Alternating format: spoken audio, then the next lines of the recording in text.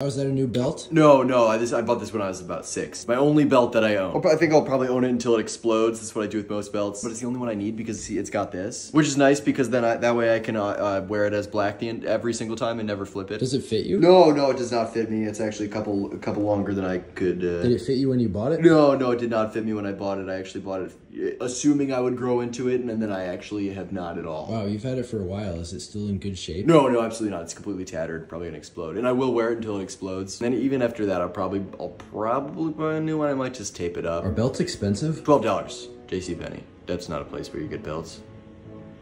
Have you ever thought about like getting multiple belts? I don't know where I would put the second one. I feel like because I have